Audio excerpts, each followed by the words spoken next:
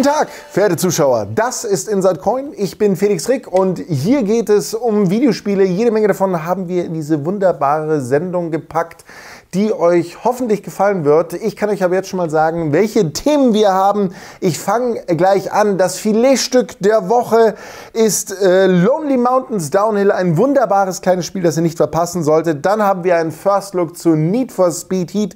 Findet die Serie zu alter Qualität zurück. Außerdem eine Zock-Session mit Mario und Sonic bei den Olympischen Spielen. Tokio 2020, ein wirklich nicht sehr sperriger Titel.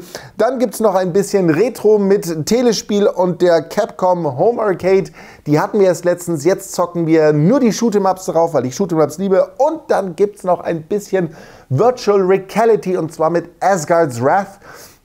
Ein Spiel, das gerade megamäßig absahnt bei Metacritic, hat einen Schnitt von 89 und wird so als das erste richtig große Virtual Reality Spiel gehandelt. Und ich muss sagen, zu Recht. Das ist echt mega, mega krass. Äh, doch bevor wir zu diesen wunderbaren Themen kommen, beziehungsweise bevor wir tief einsteigen in das, was ich euch gerade so ein bisschen erzählt habe, möchte ich noch ein bisschen erzählen, was diese Woche so passiert ist. Ich schaue mir mal die Nachrichten an und äh, diskutiere ein bisschen über die Sachen, die ich als äh, wichtig erachte. Am Wochenende war ja die BlizzCon. Ne, das ist natürlich ein Thema, das konnten wir in der letzten Folge nicht behandeln, weil die dann erst angefangen hat. Und natürlich gab es hier Neuankündigungen. WoW kriegt Shadowlands, das zum einen. Dann Overwatch 2 wird kommen und das ist dann ja, im Endeffekt eher so Overwatch 1,5, weil die Besitzer von Overwatch 1 können auch die Karten und die Heroes von Overwatch 2 spielen. Sie können dann, glaube ich, nicht die Koop- und die Story-Missionen spielen, die mit Overwatch 2 kommen. Und wer Overwatch 2 hat, der kriegt auch Overwatch 1 irgendwie. So ein kleines Hackmack, aber natürlich die große Ankündigung, von der jeder wusste, dass sie kommt, beziehungsweise dass es schon in der Mache ist. Diablo 4 und da wurde endlich was gezeigt. Es gab einen CGI-Trailer, es gab Gameplay zu sehen, also wirklich jede Menge Sachen wurden da rausgefeuert. Ich begrüße es sehr, dass das Spiel einen düsteren, echteren Look hat, dass man diesen Comic-Look so ein bisschen verlässt.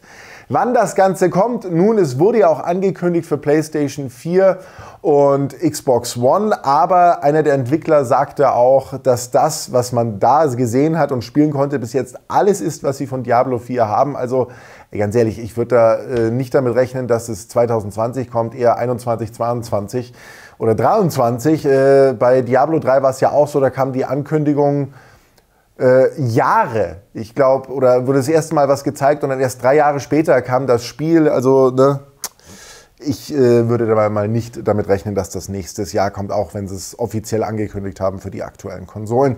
Aber was ja viel interessanter ist, ne, weil dadurch dass Blizzard so abgeliefert hat, wurde natürlich überhaupt nicht mehr über die Hongkong-Proteste gesprochen.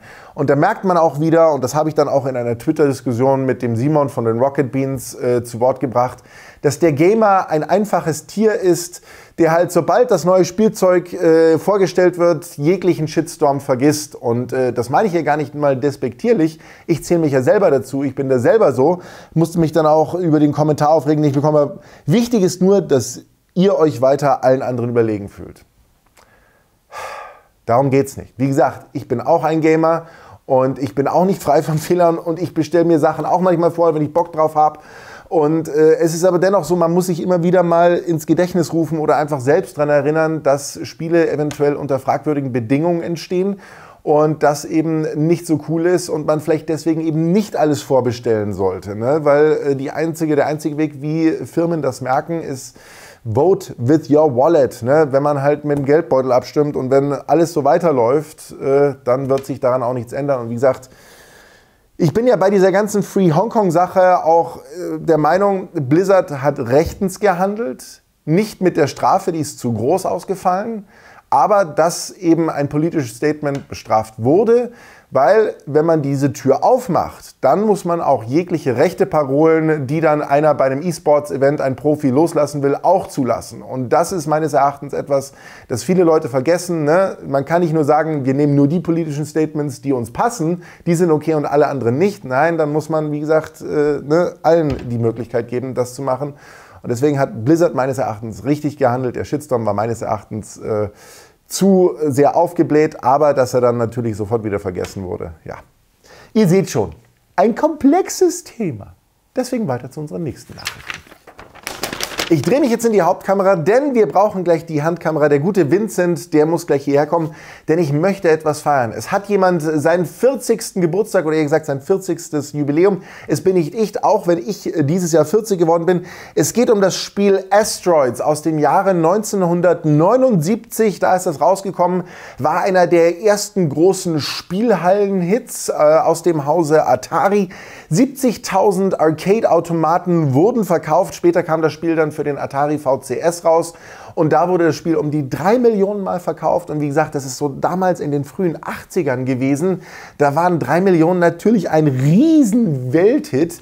Jetzt fragt ihr euch, was ist denn Asteroids für eine Art von Spiel? Nun, Asteroids ist quasi, man hat dieses kleine Schiff, das ist auf dem Bildschirm, das kann man in jede Richtung bewegen und dann sind lauter Asteroiden unterwegs, die man abballern muss und wenn man sie abballert, werden sie zu kleineren Asteroiden.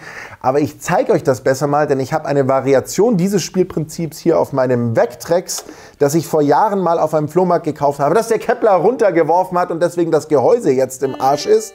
Aber hier habe ich dieses Spiel und das Vectrex heißt deshalb äh, Vectrex, weil es Vektorgrafik hat und hier heißt Asteroids Mindstorm.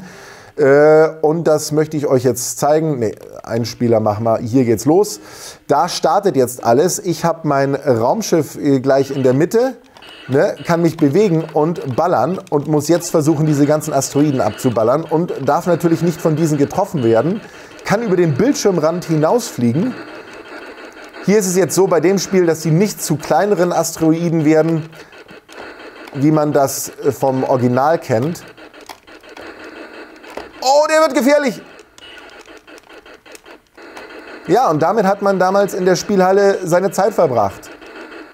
Level geschafft. Schon habe ich das Spiel gemeistert. Genau. Das ist auf jeden Fall eine Variation von Asteroids, die dann jeder versucht hat zu kopieren. Das Ganze wird jetzt dann natürlich schwieriger.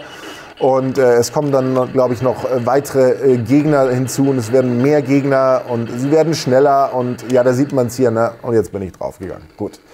Das so als kleine Geschichtsstunde. In diesem Sinne, alles Gute zum Geburtstag, zum 40.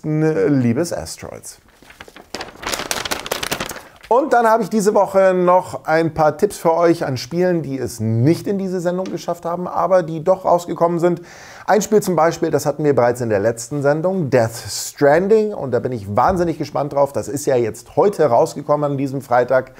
Äh, ich bin persönlich kein großer Fan von Hideo Kojima. Ich finde aber trotzdem seine Trailer immer unglaublich spannend und ich, ich freue mich wahnsinnig auf dieses Spiel, weil es ja doch irgendwie polarisiert. Es hat zwar, glaube ich, bei Metacritic einen Schnitt von 84, aber selbst viele Reviews, die das Spiel loben, sagen, dass es spielerisch ziemlich mau ist.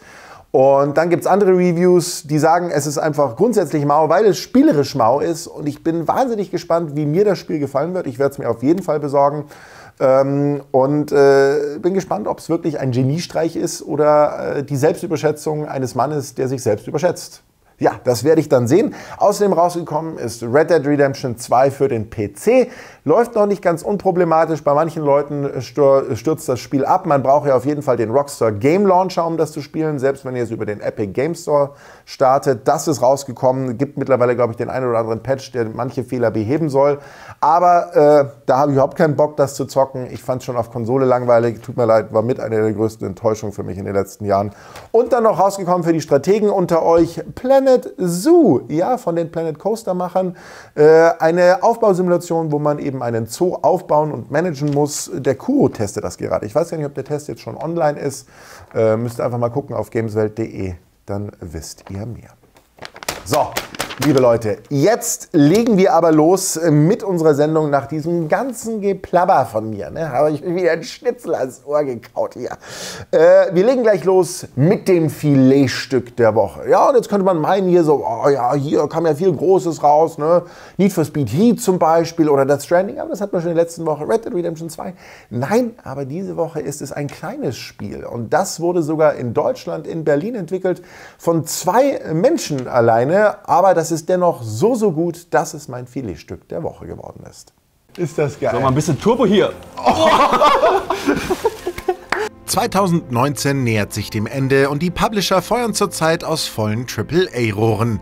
Wieder einmal muss man sich entscheiden, wem man sein teuer verdientes Geld überlässt, in der Hoffnung, ein Stück Software zu bekommen, das einen vor den Bildschirm fesselt. Ich habe nun einen Tipp für euch, den ihr eventuell nicht auf dem Schirm hattet und sich bei mir innerhalb weniger Stunden in meine Top 10 des Jahres 2019 eingereiht hat: Lonely Mountains Downhill. Oder wie man den Titel eigentlich nennen sollte, Abkürzung Das Spiel.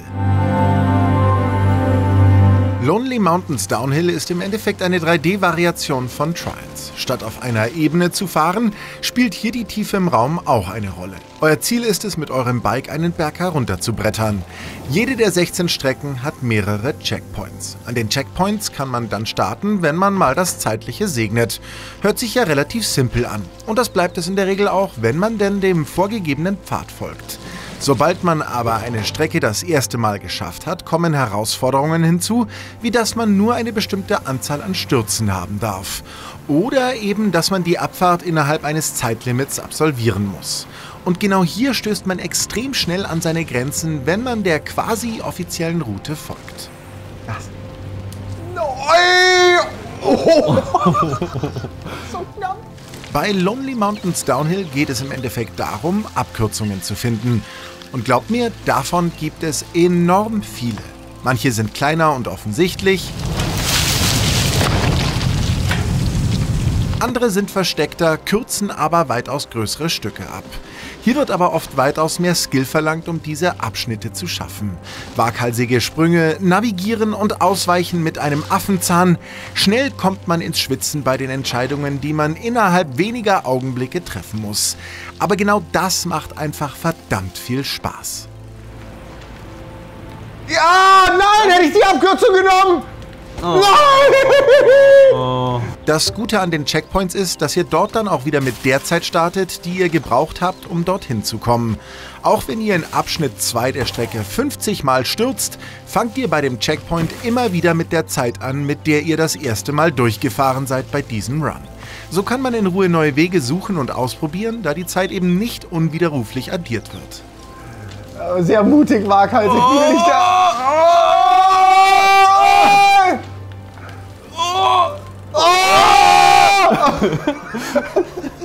Lonely Mountains schafft es, einen unglaublichen Sog zu entwickeln. Immer und immer wieder probiert man eine Strecke, möchte die Herausforderungen schaffen und weitere Abkürzungen entdecken. Denn genau das macht nämlich auch unglaublich viel Spaß. Das liegt auch daran, dass die Steuerung recht leicht zu erlernen ist. Rechter Trigger zum Gas geben, linker Trigger zum Bremsen, Analogstick zum Lenken und noch ein Knopf um zu sprinten. Das Spielgefühl ist einfach richtig gut. Wenn man einen Fehler macht, ist es auch nachvollziehbar, warum dieser passiert ist. Und vom Checkpoint neu zu starten geht ratzfatz ohne Ladezeiten. Ey, krieg's Fünf Meter hin. links, fünf Meter rechts, ein Baum. Scheiße, ich kann es mir auch nicht merken, wie es da lang geht. Der größte Motivationsfaktor sind aber die Abkürzungen und der Kampf gegen den inneren Schweinehund. Endlich eine große Abkürzung zu meistern, an der man die letzten 10 bis 15 Minuten saß, kann regelrechte Jubelstürme auslösen. Oh!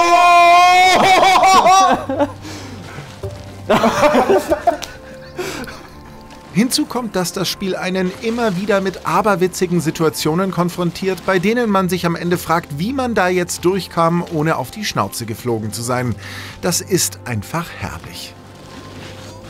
Oh ja! Oh! okay. Lonely Mountains Downhill ist ein verdammtes Juwel. Ein Spiel, das einen an den Rand des Wahnsinns treibt, wenn man zum hundertsten Male versucht, einen Streckenabschnitt zu meistern. Gleichzeitig überschüttet es einen mit Dopamin, wenn dann alles genau so läuft, wie man sich das vorstellt. Oder man einfach Glück hat und sich durch einen gefährlichen Abschnitt auf Anhieb durchwurschtelt. Dabei sieht das Ganze mit seinem reduzierten Polygon-Look unglaublich gut aus und fängt trotz der abstrakten Optik sehr gut ein, wie es ist, mit dem Mountainbike den Berg runter zu brettern. Mir gefällt vor allem auch die Soundkulisse, die sich zurücknimmt und den Spieler nicht mit irgendwelchen Rocksongs malträtiert. Das trägt zum Bergfeeling bei. Wenn ich einen Manko nennen müsste, dann, dass es nicht immer leicht ist zu erkennen, auf welcher Ebene sich der Fahrer in der Welt befindet. So gehen manchmal Sprünge an Klippen vorbei, wo man dachte, dass man eigentlich auf sicherem Terrain landet. Nichtsdestotrotz ist Lonely Mountains Downhill ein fantastisches, kurzweiliges Spiel, bei dem ich hoffe, dass die Entwickler schleunigst noch mehr Strecken und Berge nachliefern. Ich, bin so froh, dass ich nicht der Einzige bin, der so spielt. Direkt hier. Oh, schön den Lenker in die Nüsse. Liebe Entwickler, wenn ihr diesen Beitrag gesehen habt, ich muss euch nur sagen, wenn es nach mir ginge, würde ich euch unter Gewaltandrohung dazu verdonnern, nur noch Level und Berge für dieses Spiel zu machen. Es gibt ja insgesamt vier Berge, insgesamt sind es äh, 16 Strecken. Und natürlich hat man da schon einiges mit zu tun, aber ich würde mir einfach gern mehr wünschen. Ich liebe dieses Spiel, ich finde es echt richtig, richtig gut. Ich kann es jedem nur ans Herz legen. Gibt es für Xbox One, äh, PlayStation 4, ich glaube sogar eine Switch-Version soll kommen. Ich bin mir gerade nicht ganz sicher. Falls ihr eine Xbox habt, ist es auch im Game Pass drin. Also es gibt keine Ausrede, das Spiel dann nicht zu zocken. Ich finde es wahnsinnig gut und ähm, ja, Bravo, bravo, bravo, liebe Entwickler, habt ihr super gemacht. Wie gesagt, ich hoffe, dass ihr noch mehr Strecken macht. Bitte, bitte, bitte.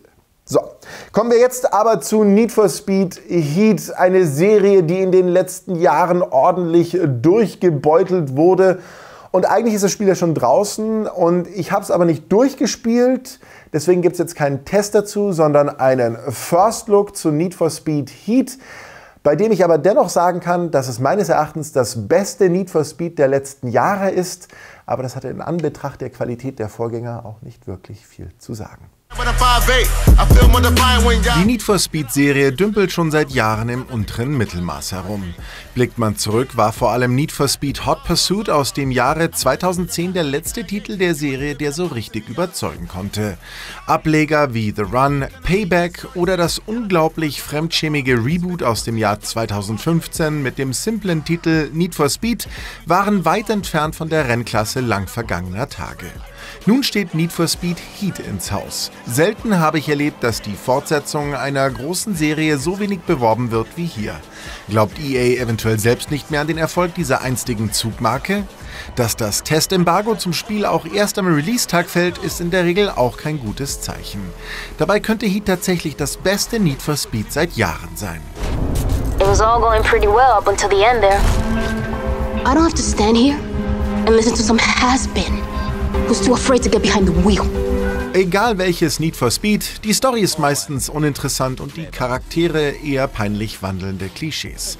Need for Speed Heat hat auch wieder eine Geschichte, inszeniert diese aber mit etwas weniger Fremdschämfaktor. Cops gegen Renncrews und illegale Straßenrennen, das ist der zentrale Konflikt des Spiels. Allerdings gilt das nur für die Nacht. Tagsüber nehmt ihr an ganz legalen Rennen und Herausforderungen teil. Um diese Dualität dreht sich alles bei Need for Speed Heat. Im Endeffekt funktioniert das so, dass ihr in eurer Garage festlegen könnt, ob es Tag oder Nacht ist, wenn ihr auf die Straße zurückkehrt. Jede Zeit hat dann unterschiedliche Herausforderungen für euch. Tagsüber verdient ihr in den legalen Rennen hauptsächlich Geld. Das braucht ihr, um neue Teile für euer Auto zu kaufen. Nachts allerdings verdient ihr Rufpunkte und die wiederum benötigt ihr für den Levelaufstieg. Über euren Rang schaltet ihr nämlich neue und bessere Autoteile frei. Da es sich bei den Nachtrennen aber um illegale Rennen handelt, kann euch jederzeit die Polizei dazwischen funken. Entweder wenn ihr ganz normal die Stadt frei erkundet oder eben direkt in einem Rennen seid. Dann solltet ihr die Cops abhängen, was nicht immer so leicht ist, oder ihr Auto crashen, indem ihr sie von der Bahn drängt.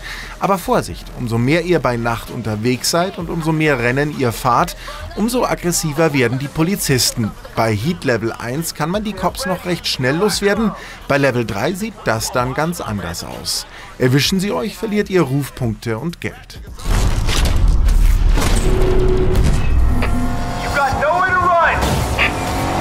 Aus dieser Zweiteilung ergibt sich eine echt schöne Dynamik. Natürlich verspricht die Nacht eben durch die Cops weitaus mehr Nervenkitzel. Ein Rennevent zu fahren steigert automatisch das Heat-Level. Und irgendwann findet ein Abwägen statt. Gier gegen Vernunft. Versuche ich noch ein weiteres Rennen, wo ich dann eventuell von zu vielen Cops gejagt werde, aber im Level aufsteigen kann? Oder mache ich mich lieber auf den Weg in die Garage, um meine Schäfchen ins Trockene zu bringen? Tagsüber kann man sich dann etwas freier austoben und den Stress loswerden, den die Nachtjagden ausgelöst haben. Alphabet. Neben diversen Rennevents, an denen ihr teilnehmen könnt, findet ihr auch jede Menge andere Aktivitäten, wie man sie von Open-World-Rennspielen kennt. Driftzonen, Blitzer oder auch Schilder, die man kaputt machen kann, um Geld und Ruf zu bekommen. Auf der Map ist wirklich einiges versteckt. Optisch sieht das Spiel auch recht schick aus und das Rumcruisen macht durchaus Spaß. Dass Florida als Inspiration galt, sieht man recht deutlich, allerdings übertreibt es das Spiel mit bedecktem Himmel und Regen. Wir reden hier vom Sunshine State. Sonne, blauen Himmel und kräftige Naturfarben sieht man aber recht selten. Zu große Unterschiede in Botanik und Klimazonen sollte man auch nicht erwarten.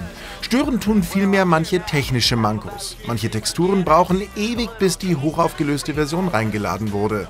Mal passiert es auch, dass ein Kopf direkt vor mir spawnte. Oder dass die GPS-Navigation und damit die Streckenführung mitten im Rennen einfach nicht mehr da war. Ein weiterer wichtiger Faktor sind die Autos und das Tunen. Im Vergleich zu einem Forza Horizon bekommt ihr hier nicht im Sekundentakt neue Autos für den eigenen Fuhrpark. So macht es oft mehr Sinn, sein Auto zu verbessern, anstatt ein neues zu kaufen. In meinen Augen hat man hier aber nicht die richtige Balance getroffen. Das Spiel macht es einem nicht gerade schmackhaft, den Fuhrpark zu erweitern, da Tunen meist sinnvoller ist, vor allem auch, da man keine Autos in Rennen gewinnen kann. Im Endeffekt nimmt sich Need for Speed Heat ein Gearscore-ähnliches System zu Herz.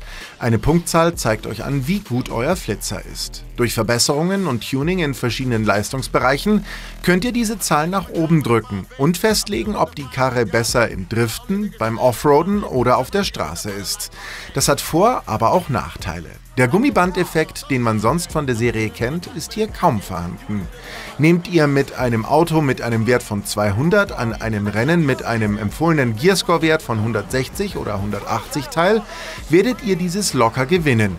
In einem anderen Aspekt aber merkt man, dass das System auch Fehler hat. Die Autos unterscheiden sich beim Fahrgefühl weitaus weniger als bei anderen Rennspielen. Im Endeffekt ist jede Karosse nur eine Hülle und der wahre Wert und das Fahrgefühl wird durch die Gearscore-Zahl bestimmt. Auch ein dicker Ami-Schlitten kann hier zum Kurvenspezialist werden. Später könnt ihr noch weitere Hilfsitems freischalten, wie zum Beispiel, dass euch Cops schlechter orten können.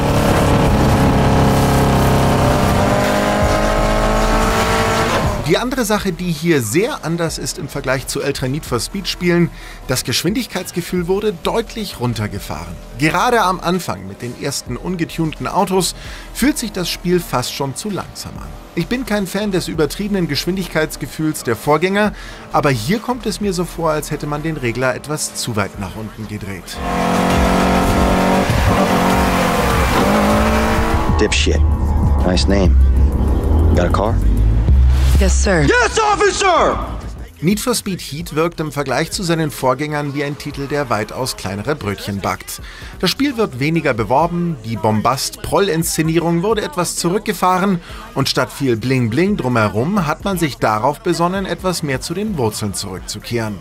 Eventuell ist das natürlich auch eine Frage des Budgets. Einen aufwendigen Echtzeit-Tag- und Nachtwechsel umgeht man natürlich ganz gut mit dem Feature, dass man sich aussuchen kann, zu welcher festen Tageszeit man fährt. Auch wenn legale Rennen bei Tage und Kopfverfolgungsjagden bei Nacht auch durch Echtzeitwechsel kein Problem gewesen wären. Die beiden größten Mankos sind für mich, dass es zu wenig Unterschied bei den Autos gibt und dass das Geschwindigkeitsgefühl gerade am Anfang einen Ticken besser sein könnte. Hoffentlich werden auch noch die technischen Unebenheiten ausgebügelt. Das Resultat sorgt aber dafür, dass ich nach circa 8 Stunden durchaus immer noch Spaß am Spiel habe. Ich verbringe auch einfach gerne Zeit in der Welt, um irgendwelche Collectibles zu sammeln. Gerade auch die Verfolgungsjagden mit den Cops entwickeln einen echt krassen Nervenkitzel. Einige Missionen sind wirklich abwechslungsreich inszeniert und machen einfach Spaß, da das generelle Fahrgefühl wirklich gut ist. Und das habe ich schon wirklich lange nicht mehr bei einem Need for Speed gesagt. We're drivers! Why don't you call me when you remember that? Wie gesagt, warum nochmal First Look statt Test? Weil ich das Spiel nicht komplett durchgezockt habe. Mein Kollege Tim Lenzen hat es komplett durchgezockt. Mit dem habe ich aber nochmal äh, Rücksprache gehalten und wir haben nochmal viel drüber gequatscht und so.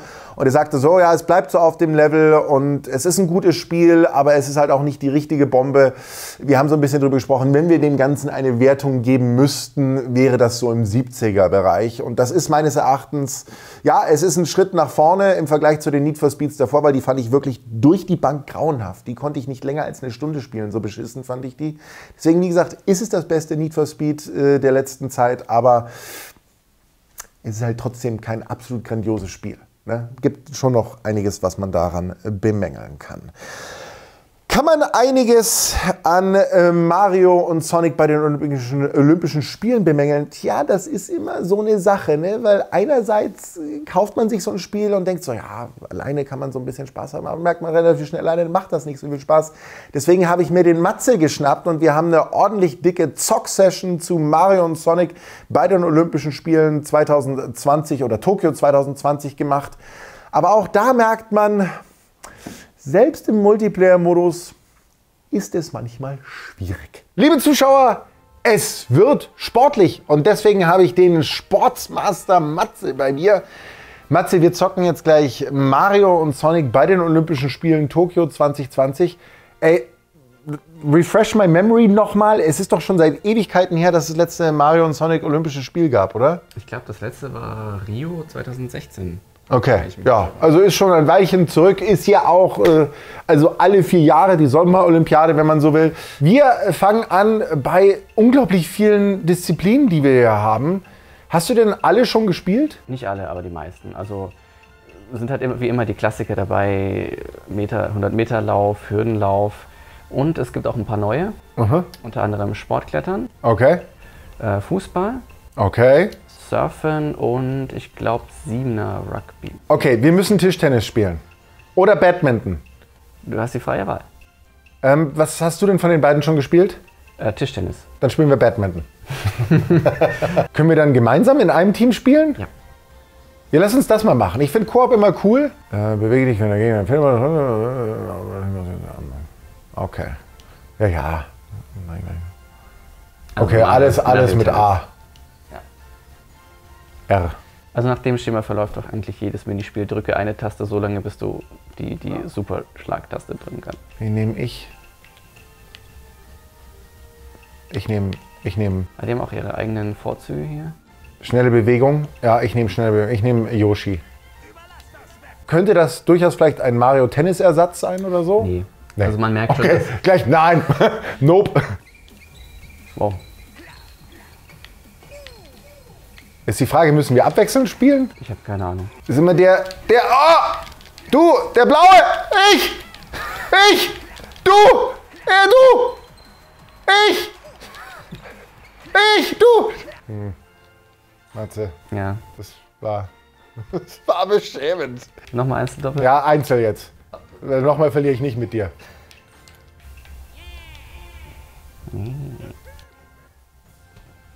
Der Dicke gegen den Schlanken. Nun.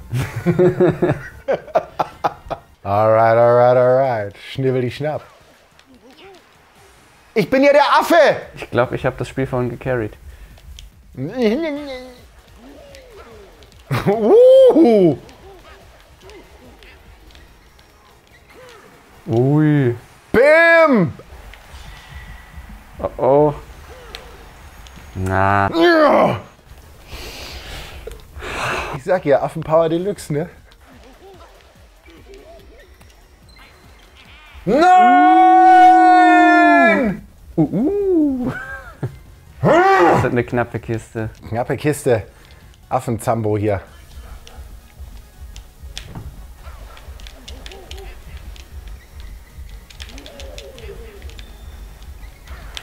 Ah.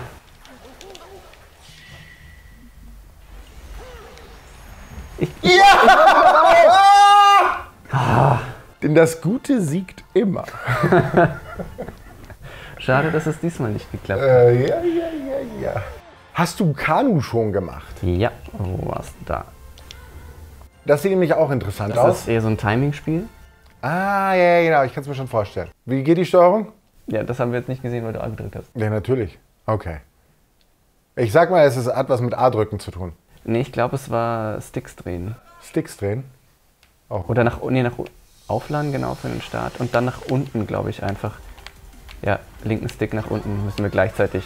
Und, ey, und, ey, ey. Ja, ey. so weitermachen. Wir holen die noch.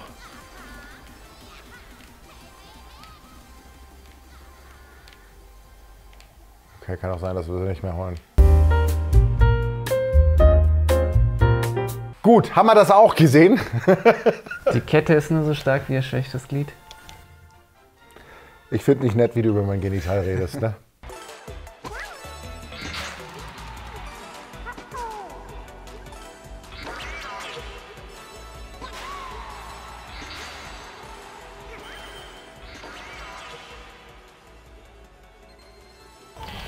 Yay.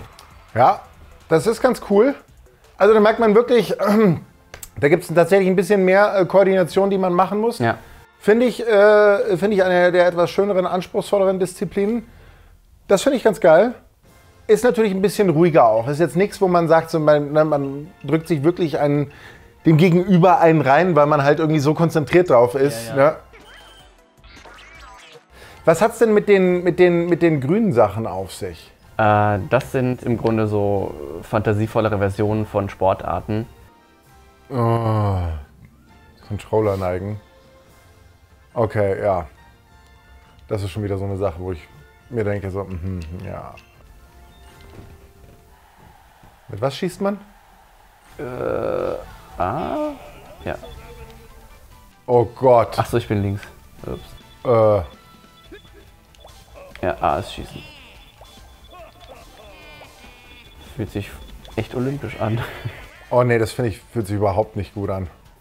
Also da bin ich überhaupt kein Fan von.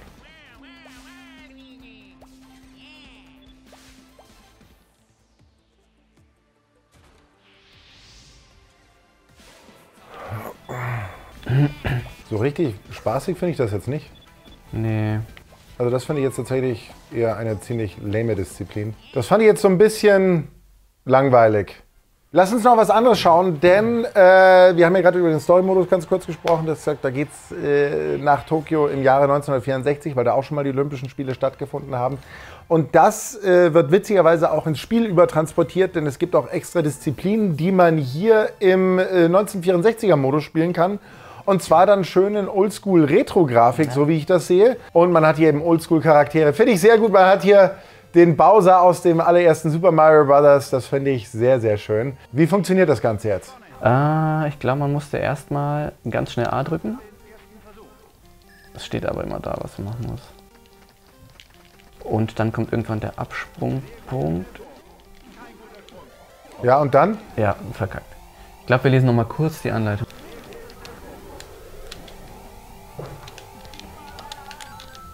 Oh, fuck.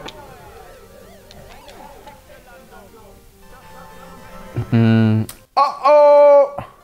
Okay, also es ist so ein bisschen Reaktionsspiel. Ja. Sportschießen? Ja, Sportschießen, komm, das hat so ein bisschen Duckhand-Flair. Du bist dran. Ruhig. Aber die Mucke macht mich wahnsinnig. Und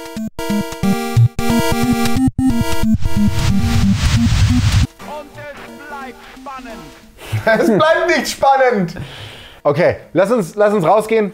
Lass uns noch eine Disziplin anschauen. Das überlasse ich dir, mein Freund. Der Marathon war ganz witzig.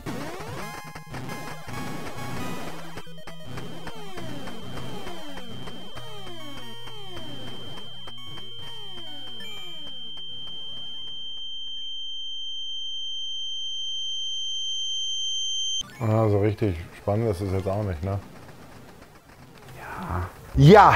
Ähm, fand ich jetzt ja weniger spannend. Ich mag dann doch eher die Disziplinen, wo es so ein bisschen direkter und schneller gegeneinander geht. Jetzt haben wir so ein paar Disziplinen gesehen. Du hast natürlich dich mit mehr befasst. Was ist denn dein Urteil so? Das Highlight ist tatsächlich der Retro-Modus, einfach wegen der Optik. Echt? Okay. Aber spielerisch finde ich das ganze Spiel leider sehr, sehr dünn. Jetzt muss ich natürlich sagen, du hast sehr viel ja auch im Singleplayer gespielt. Ich meine, das ist ja schon so ein Spiel, das auf Multiplayer ausgelegt ist. Ähm, kannst du es denn wenigstens den Leuten, die sagen so, hey, lass uns einfach eine Vier-Runde zocken, ans Herz legen? Äh, denen eher ja, weil das ist die einzige Möglichkeit, dass das Spiel dir irgendwie so eine gewisse Konkurrenzsituation herstellt. Ja. Weil alleine entsteht das überhaupt nicht. Ja. Aber wie gesagt, man, man weiß es ja im Endeffekt. Mario und Sonic ist ja auch nicht nur Mario bei den, Son äh, bei den Olympischen Spielen, sondern eben Mario und Sonic. Deutet ja schon an, ne? Mehrspielermodus steht hier im Vordergrund. Man sollte nicht zu viel erwarten. Ihr habt es ja gesehen, es gibt Events, die machen durchaus Spaß. Es gibt andere, die sind dann so ein bisschen Fahrt. Tja, man muss halt das finden, was man gut findet oder ein paar Sachen, die halt einfach herausstechen, dann öfter spielen. Aber ob die dann wirklich Langzeitspaß machen, tja, das wird sich zeigen. Wir sind da eher so gemischter Gefühle. Ich kann nur sagen, bravo, bravo, bravo, lieber Vincent. Wunderbar geschnitten dieser Beitrag, finde ich sehr, sehr schön, hat mir sehr gut gefallen. Wirklich amüsant und hat auch bildtechnisch sehr gut auf den Punkt gebracht, was wir manchmal so gefühlt haben und wie spaßig das Ganze war. Ja, es gibt halt Disziplinen, die sind besser als andere und ähm, es ist ein reines Multiplayer-Spiel, man darf einfach nicht zu viel erwarten. Es ist gut, um sich äh, kurzweilig mal mit äh, ein paar Freunden zu kebbeln und Spaß zu haben, aber ja, langfristig. Aber erwartet das auch wirklich irgendjemand? Ne? Im Endeffekt ja auch nicht wirklich.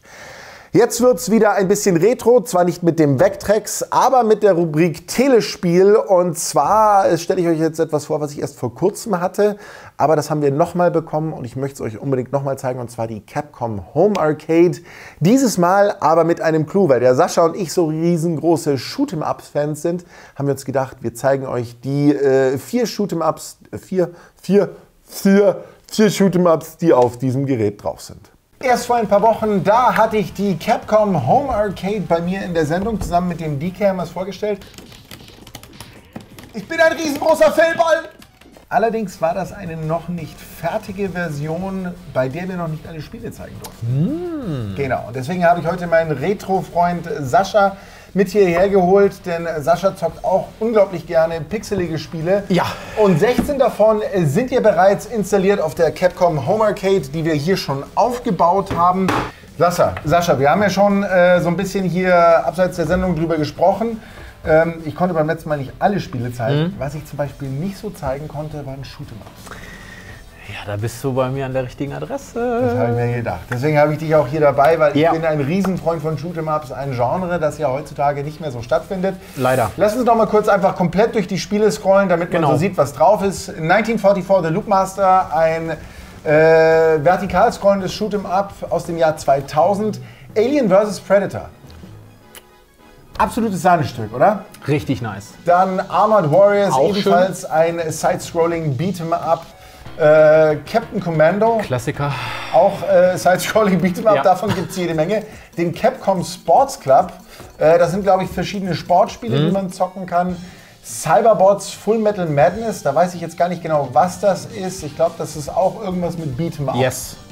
Ob es jetzt Side-Scrolling ist, weiß ich nicht. Darkstalkers, The Night Warriors, ebenfalls ordentlich Eine auf Serie, die ich 12. sehr, sehr liebe. Ja, warum? Oh ja, ich fand, die, äh, fand das Design der Figuren einfach geil.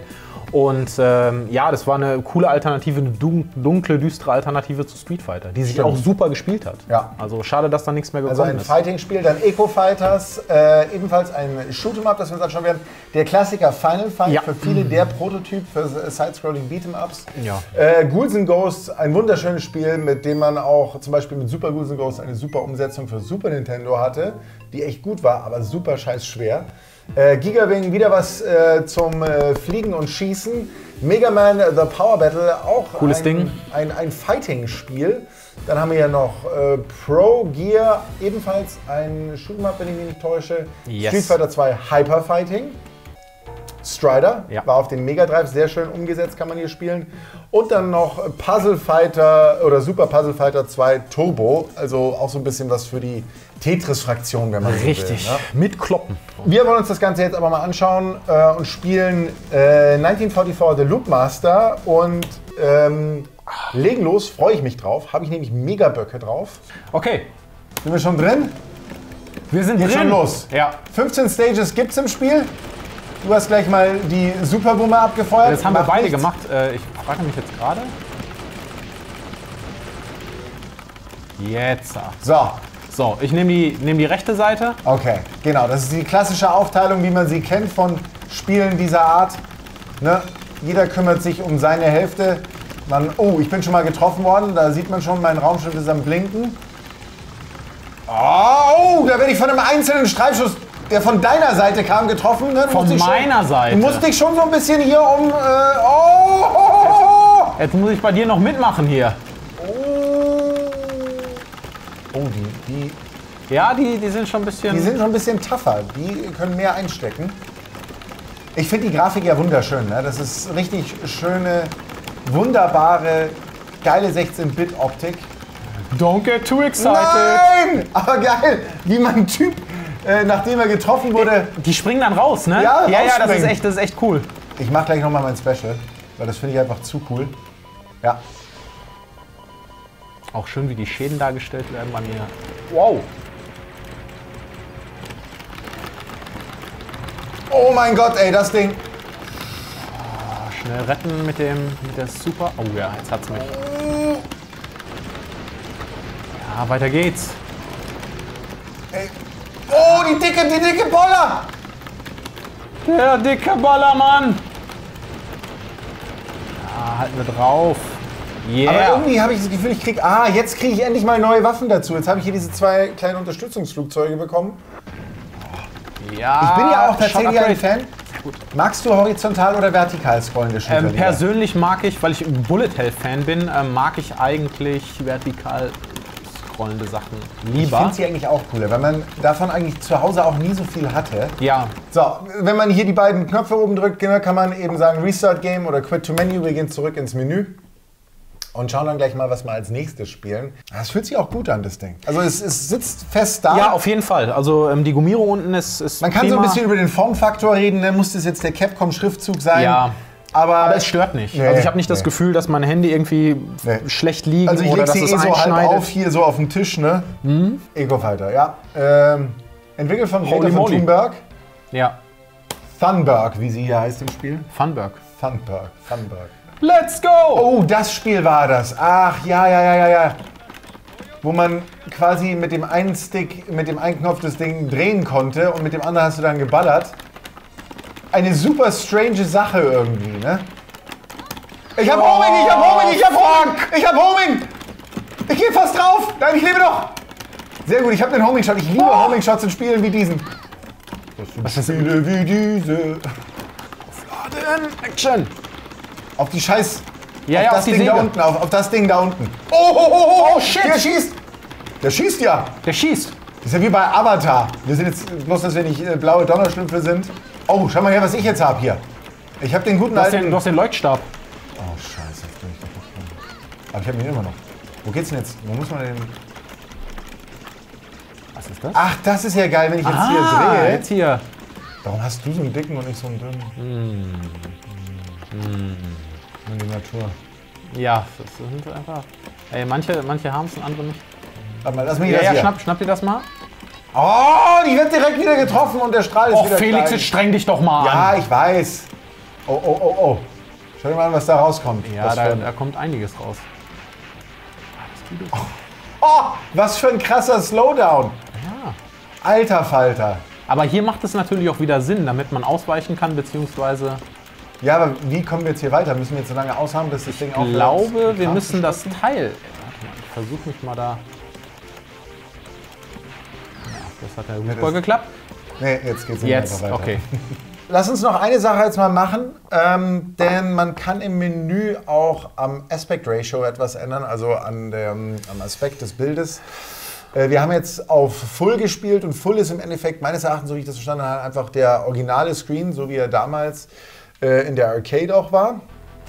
Wir gehen jetzt mal, ah, wir gehen mal hier hoch aufs Rädchen und gehen dann zu, äh, nicht den Credits, sondern Display Display. und machen mal Genau. Wide. Und das waren auch die großen Einstellungen. Man kann das Ganze noch mit Wi-Fi verbinden und kannst du deine Highscores hochladen. Es gibt Ja. aber kein Online-Play oder so. Ne? Nee.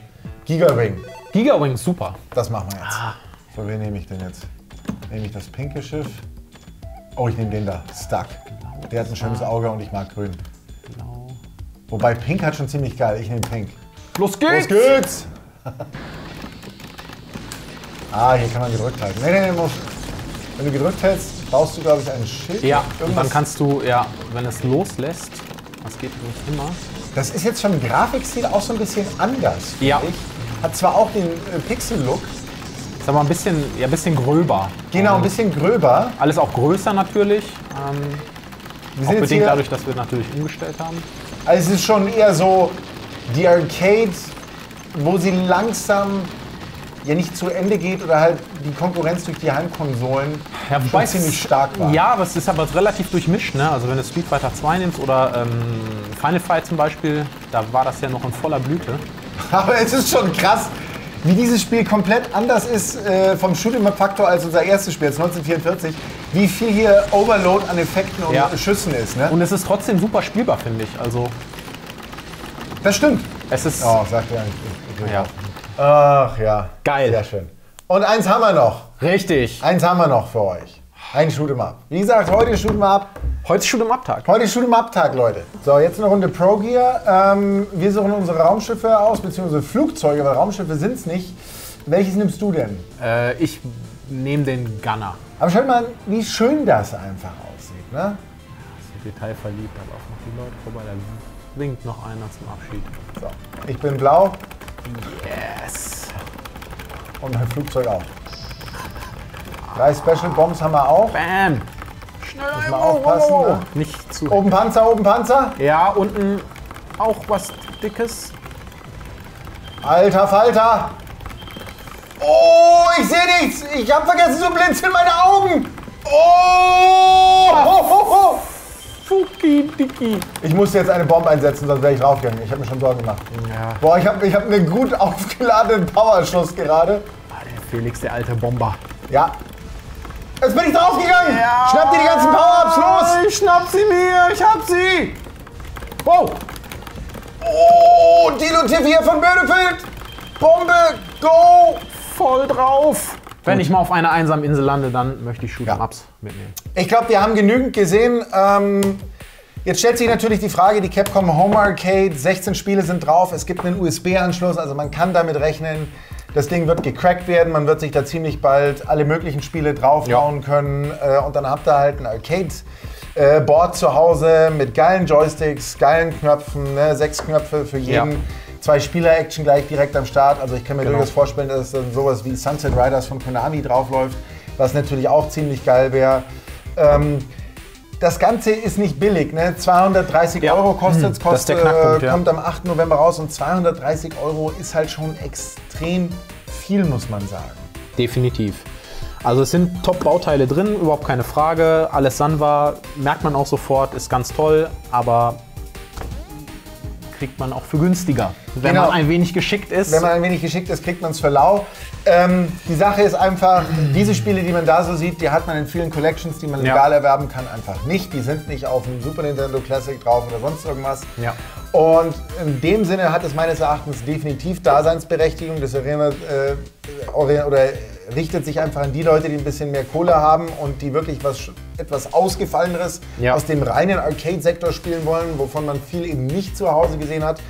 Und ich finde es echt richtig, richtig geil, muss ich sagen. Würde ich jetzt 230 Euro dafür zahlen, ich kenne mich. Bei mir zu Hause wird es wahrscheinlich verstauben, weil ich auch nicht mehr so die Zeit habe, einfach so viel zu zocken, wie ich gerne hätte. Hätte ich mehr Zeit, würde ich die Kohle wahrscheinlich investieren. Ja. Das ist so mein Urteil dazu. Danke fürs Mitspielen, Sascha. Ich hoffe, hast Sehr Spaß gehabt. Ich hoffe, ihr habt ein bisschen Spaß gehabt. Genau. Wie gesagt, ist jetzt draußen, 230 Euro müsst ihr dafür latzen. Kriegt aber meines Erachtens schon ziemlich viel dafür. Auch wenn es jetzt natürlich nicht so günstig ist wie ein SNES, Cla SNES Classic. Aber dafür sind die Spiele halt einfach geil Arcade. Ne?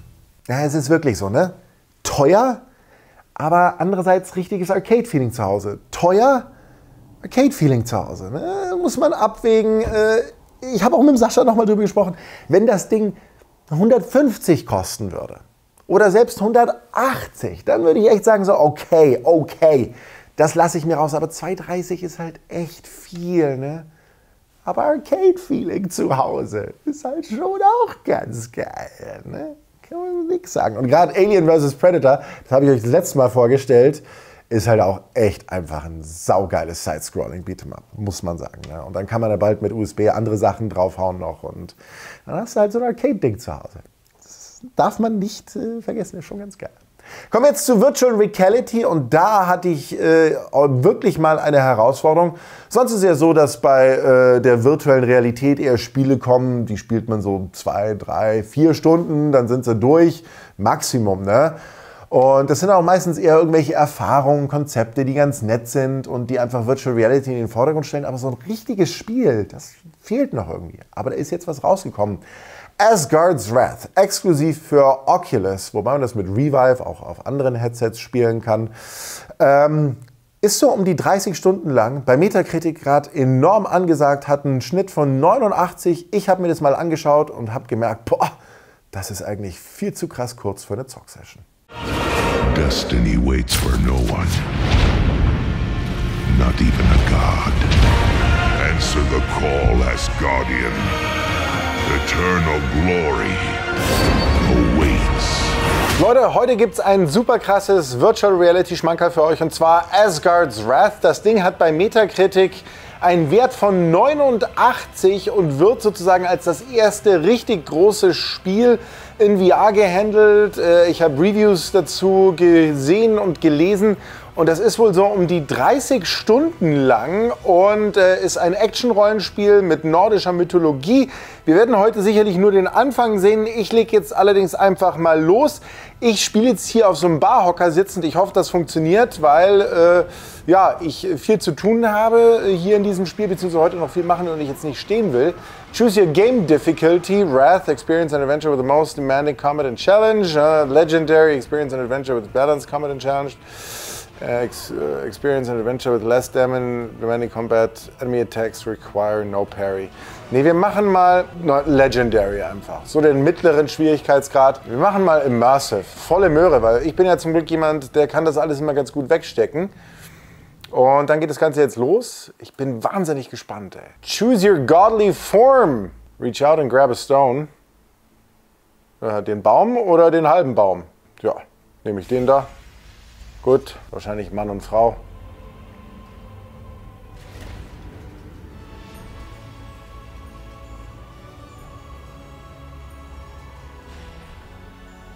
Wow. Das sieht beeindruckend aus. Das sieht grafisch wirklich fucking exzellent aus. Also das ist... So etwas Geiles habe ich in VR noch nie gesehen. Definitiv nicht, Leute. Definitiv nicht. Das ist unglaublich schön und cool gemacht. Beeindruckend. Höchst beeindruckend. Enter the Portal oder ja. ja. Ich kann aber immer noch nicht smooth rotaten. Mal schauen, vielleicht geht das nachher im Spiel. Ach, das konnte ich hier schon auf dem Oculus-Event äh, spielen, äh, wo ich jetzt gegen diesen Kraken kämpfen muss. In dieser wunderschönen See. Das ist echt wirklich sehr, sehr grafisch geil. What? Okay. Release the Kraken. War ihm schon gut eins draufgegeben, ne? Aber äh, der blaue Tentakelbart lässt sich nicht so einfach abschütteln.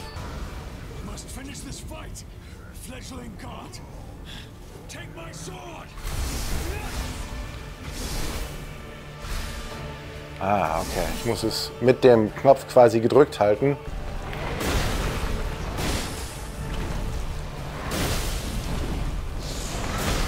Okay, das kriege ich noch hin. Ah, ich schieße direkt so einen Laserbeam ab, ey. What? Einmal Zunge durchschnibbeln. Eigentlich müssen wir doch jetzt schon köpfen können. Zack, zack. Kriegt ein paar drauf.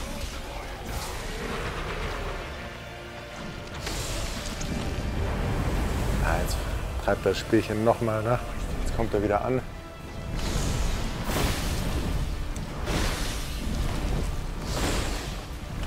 Denkst du, mein Freund? Oh, shit kommt er wieder her. Also sind die verschiedenen Phasen, die man halt so kennt von so einem Boss. Ne? Wieder Zunge.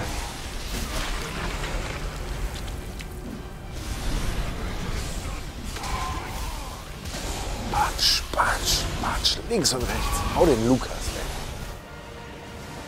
Oh, da steht einer. Hey, kleiner Mann. You expect me to be impressed? Why, I could have slayed the beast with one hand tied behind my back. I do not run from danger. Cowards go straight to hell. Not I. For the bold, ich bin mal nicht so arrogant, mein Freund, ne? All to gain.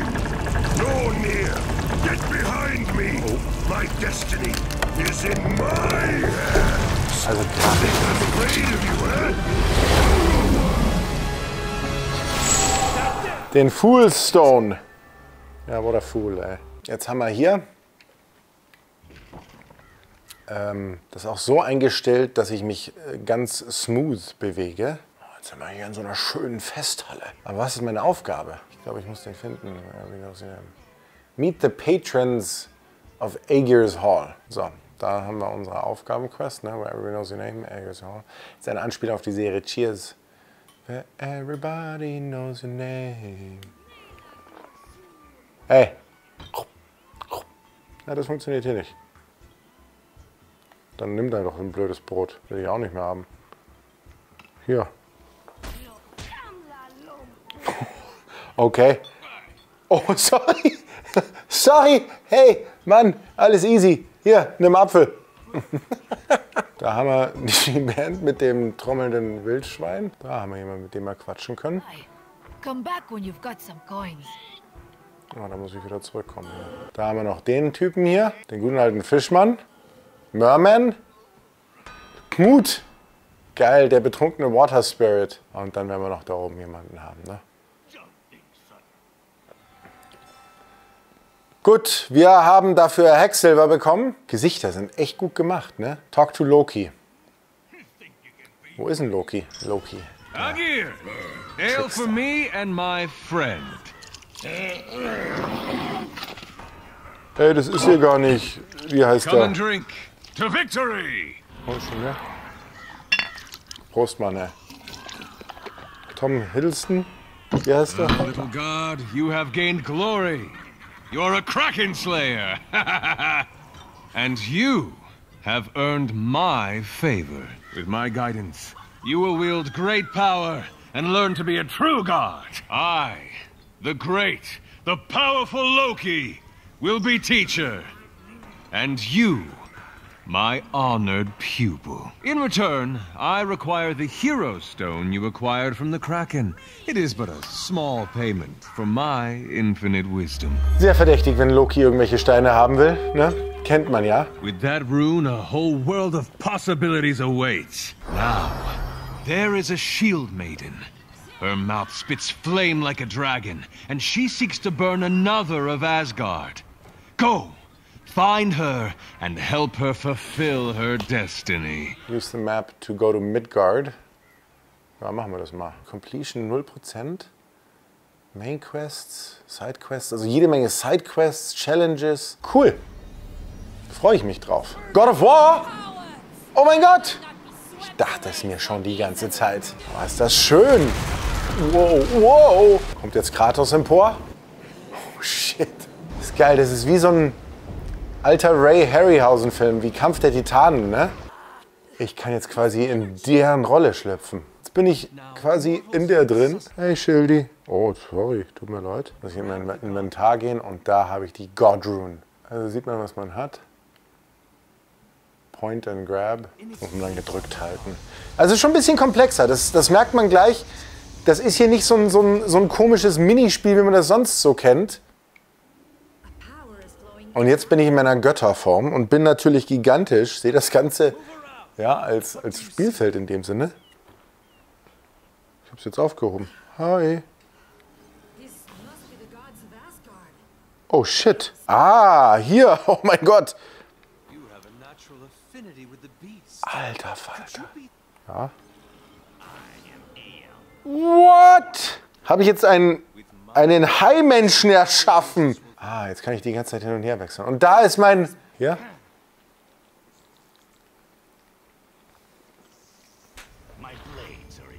Okay, geil. Fistbump und er ist jetzt mein Kumpel. Okay, jetzt kann ich den upgraden. Ah, hier. Das da. That shark hungers for a taste of that corpse up there. This disgusting beast has cleared a path. Ist ja fantastisch. Also Rätsel soll es auch geben oder wird es geben hier. So, jetzt greift er an. Ich habe nämlich keine Waffen, ne? Mach die mal schön fertig für mich, die komischen Zombies. Oh, geil, hey. Hey, Egel, du bist super. Ja, sorry, Ratty McRatface.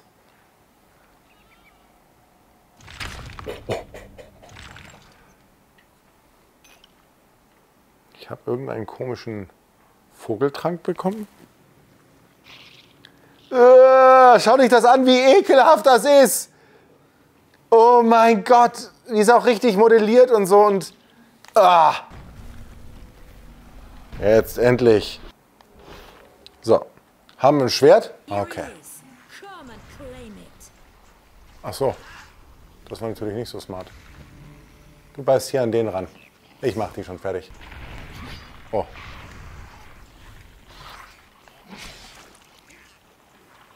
Oh, jetzt. Entschuldigung, ich hätte gerne mein Schwert wieder. Sehr schön, nimm das.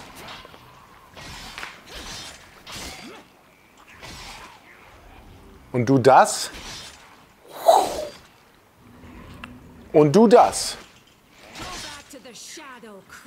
Sehr gut.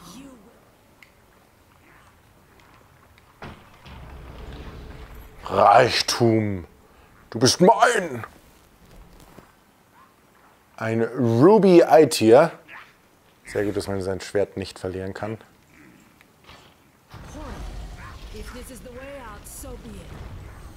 So hauen wir mal ab. Haben wir diese erste Tomb geschafft? Wir haben Sachen bekommen. Jetzt muss ich so eine Schildkröte transmutieren. Machen wir das halt, ne? So, Schildi. Wir machen das nochmal. So, und ich habe Teenage Mutant Ninja Turtles, Teenage Mutant Ninja Turtles, Teenage Mutant Ninja Turtles, Heroes in a Half Shell. Wie gut ist das denn, ey? Da ist er. Schaut ihn euch an. Attack from Draws foes his before before unleashing Shockwave, Talent, Barrier, Point at a Fire Trap and Halder. Halder will Razor Shield to block the flame. Wunderbar. So, du blockierst das jetzt mal. Boah, da wird sicherlich einige coole Rätsel geben. Das ist cool. Alter, diese Spinnen hier, ne? Kann ich dich. Ja, das hast du jetzt davon. Dummes Spinnenkackviech. Greif das mal an hier. Schildi.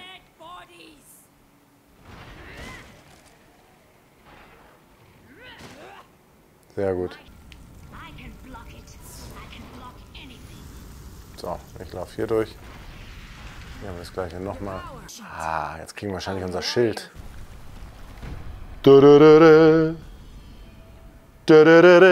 Boah, sieht das geil aus. Sieht das gut aus. Ah, das geht schon, ne? Scheiße, mein Schild ist fast kaputt. Das hat schon hier gut Schaden. Wow.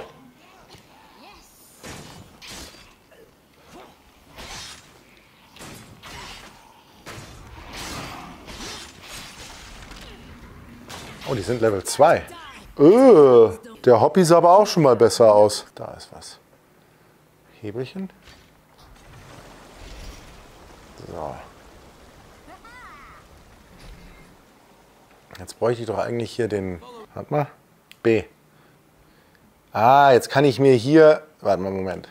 Wir holen Schildi nochmal hierher, dass ich es besser zeigen kann. So, hier ist jetzt mein Schildi. Der hilft mir hier aber bei diesem Rätsel nicht weiter, weil da brauche ich Sharky.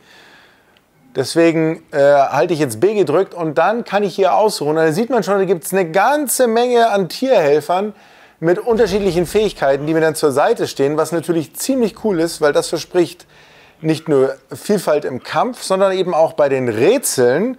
Äh, Finde ich super interessant. Also äh, ich bin gerade echt. Das ist hier kein Bullshit-Spielchen hier, sondern das ist schon richtig groß. Das merkt man schon. Allein am Anfang von diesem Tutorial, was ich jetzt hier spiele. Ne? Allein, dass das Tutorial schon länger ist als die meisten anderen VR-Erlebnisse.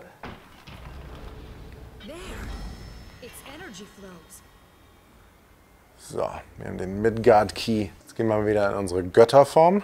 Den nehme ich und setze ihn dahin. Das ist natürlich super, aber jetzt gehe ich da wieder rein. In die Person, ne? Zack. Und sag ihm jetzt. Achso, aber ich habe ihn doch relook. Na, ist er doch dran. Sieht man ja. Perfekt. Sehr gut. Ey, das finde ich sehr cool, dieses Feature. Wow. Mit der Form, die man ändern kann. In Zeitlupe schön. Das Seil bei der Leiter. Ach, stimmt. Da könnte ich ja vielleicht einen Shortcut machen. Zack.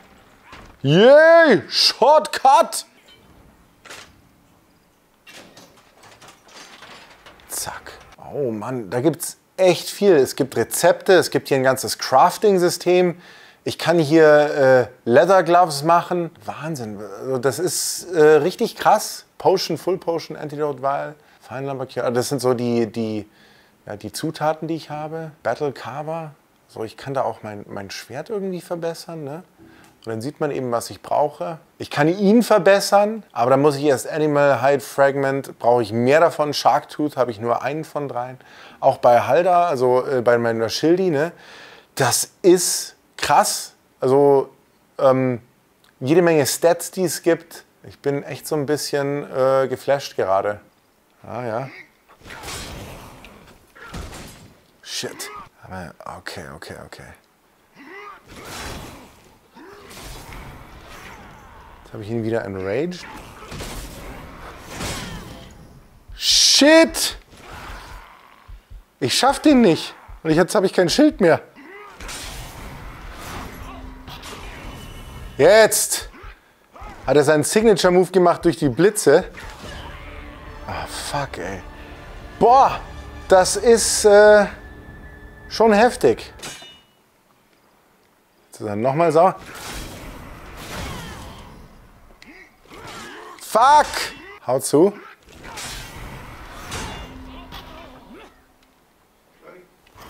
Jetzt habe ich ihm das Ding weggehauen. Also man muss ihn erst sauer machen, dieser rote Balken. Huh, das ist nicht ohne. Also es gibt diesen roten Balken, das ist ein Rage-Balken. Wenn der voll ist, macht er seinen Signature-Move. Wenn er den macht und ich parry den, dann kann ich ihm quasi äh, die Rüstung weghauen und dann kann ich ihm ähm, eins auf die Mütze geben. Boah. Oh, fuck.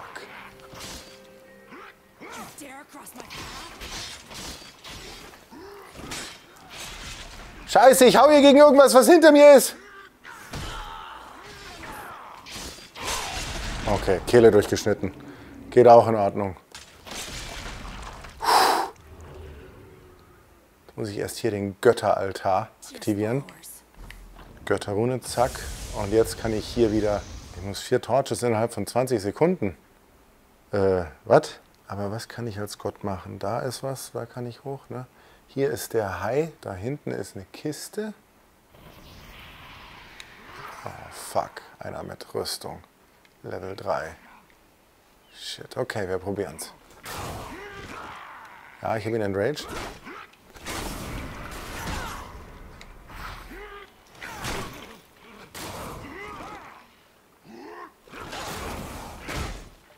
Aber jetzt muss er doch sein Signature.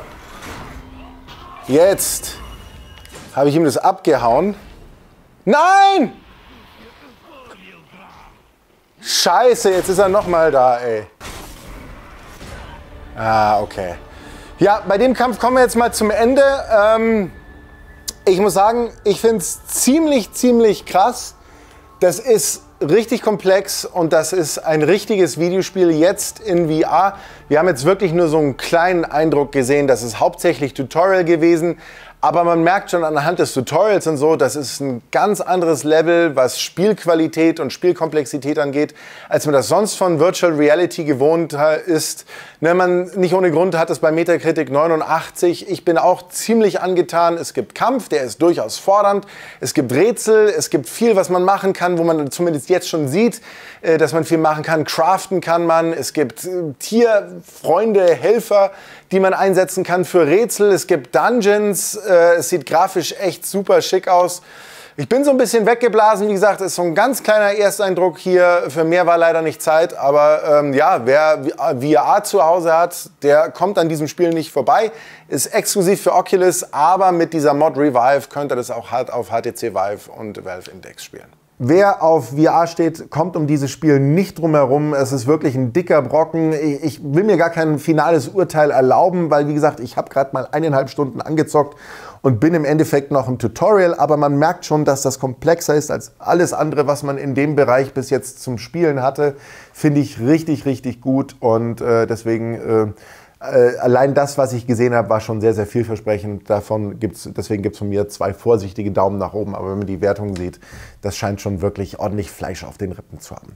Ja, das war's dann äh, von Inside Coin. Ich bedanke mich ganz, ganz herzlich fürs Zuschauen. Würde mich natürlich wahnsinnig freuen, wenn ihr die Sendung über soziale Medien teilt. Freue mich immer sehr, wenn ich das auf Twitter mitbekomme oder Facebook ne, oder sonst wo. Äh, in dem Sinne wünsche ich euch jetzt noch ein schönes Wochenende und wir sehen uns dann nächste Woche wieder. Dann wieder mit Coin mit tollen Themen und natürlich viel Zockerei. Also macht es gut, tschüss und bis dann.